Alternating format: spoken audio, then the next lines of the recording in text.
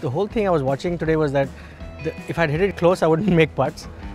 I, I would hit it about 20 25 feet and I would be making putts. So by the end of the round, I really didn't care how far I was hitting it, as long as I was making some putts. It's always much easier to maneuver yourself around a golf course that you know very well, um, or golf courses that you really like. You know, Tollygunge has always been my original home course. I've grown up here, so you know, when you stand up on a tee, you know exactly where it's going to go. If you miss it in a certain place, what will happen?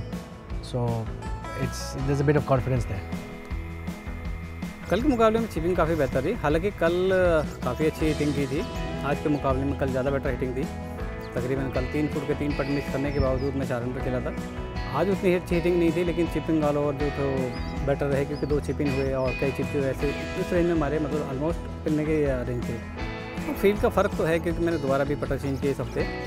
हालाँकि एक डेढ़ साल बाद दोबारा पट उतारी है तो काफ़ी हद तक छोटे पट अभी इतने अच्छे हो नहीं रहे, लेकिन कॉन्फिडेंस काफ़ी है